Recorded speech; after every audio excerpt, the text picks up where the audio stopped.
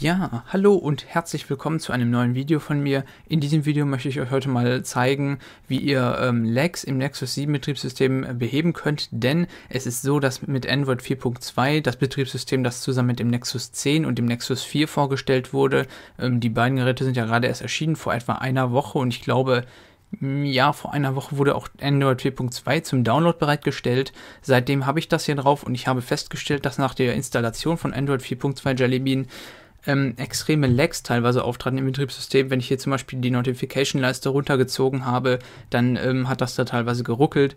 Oder wenn ich hier zwischen verschiedenen Apps gewechselt habe, dann gab es da ähm, teilweise extreme Lags oder die, ähm, die äh, wie heißt es, die Multitasking-Leiste natürlich, hat sich teilweise ein bis zwei Sekunden Zeit gelassen, bis sie sich geöffnet hat.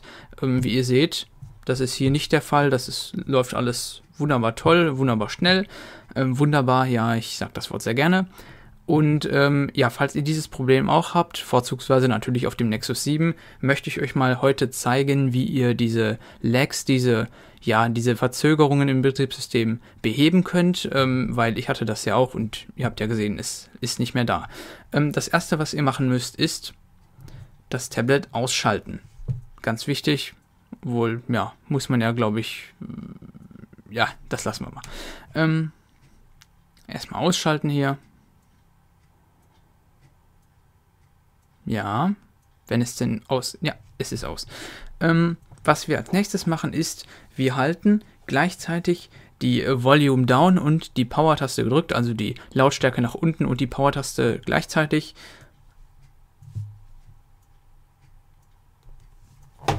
Dann kommt das Symbol hier, beziehungsweise der Bildschirm. Das ist so, ähm, das ist sozusagen, ich glaube, wie heißt das? Fast-Food-Modus, keine Ahnung, was das für ein Modus ist. Ähm, und hier oben sehen wir jetzt ein Auswahlmenü. Da wählen wir jetzt mit der ähm, Volume nach unten, mit der, ich sage mal Volume, ich, mir fällt das deutsche Wort nie ein, die Lautstärke nach unten Taste natürlich. Mit dieser Taste wählen wir jetzt den folgenden Punkt aus. Recovery Mode und dann klicken wir wieder auf die Standby-Taste.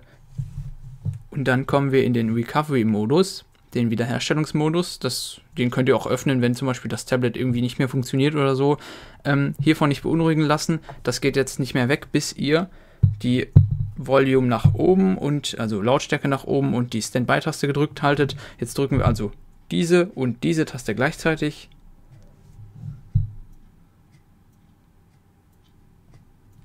So, dann kommt dieses Menü hier oben. Und in diesem Menü hier ist schon wieder jede Menge verschmiert. Ja, tut mir leid, aber das ähm, einen Moment. So. Ähm, gut, ist nicht besonders viel besser geworden, aber was soll's. Und hier gehen wir dann auf den Punkt Wipe Cache Partition.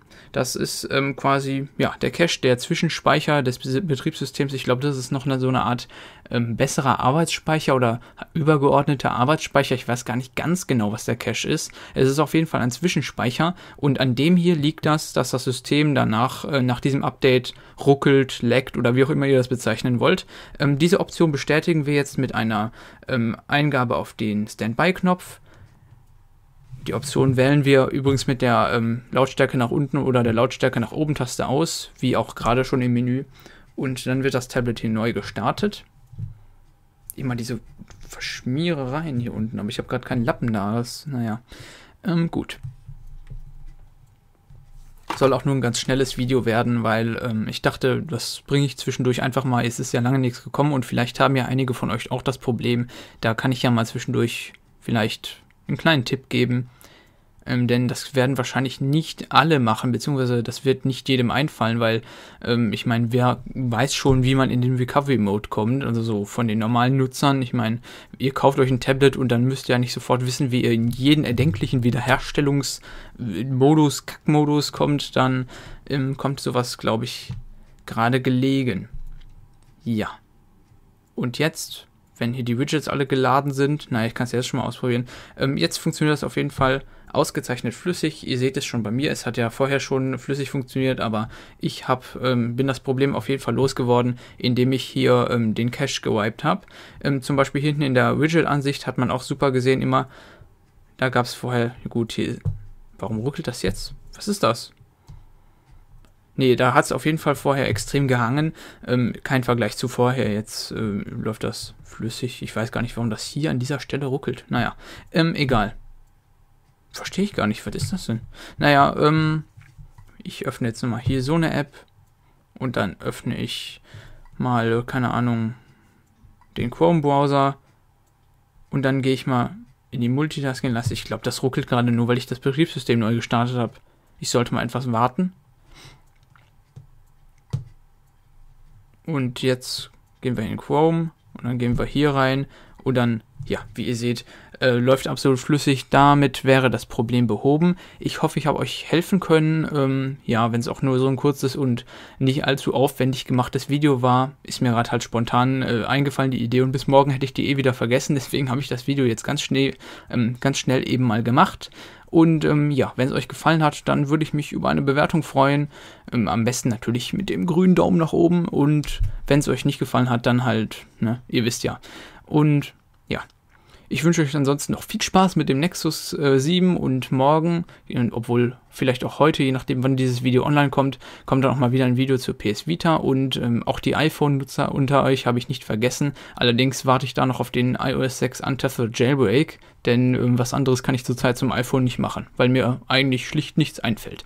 Ähm, ja, so viel zur Statusmeldung und ja, ich hoffe es hat euch gefallen. Ansonsten noch einen schönen Tag und bis zum nächsten Mal. Fragen im Übrigen wie immer in die Kommentare, da dürfte es wahrscheinlich einige geben. Ach ja, und ich bin für keine Schäden verantwortlich, falls ihr an dem Ding irgendwas kaputt macht während dieser Prozedur, ähm, bin ich nicht dafür verantwortlich. Das habe ich früher mal vergessen zu sagen und immer nur in die Beschreibung geschrieben. Ja, dieses Mal sage ich es im Video. Obwohl da eigentlich nichts Großartiges passieren dürfte, wenn ihr wirklich nur den Cache wiped. Das ist äh, absolut ungefährlich. Bis zum nächsten Mal.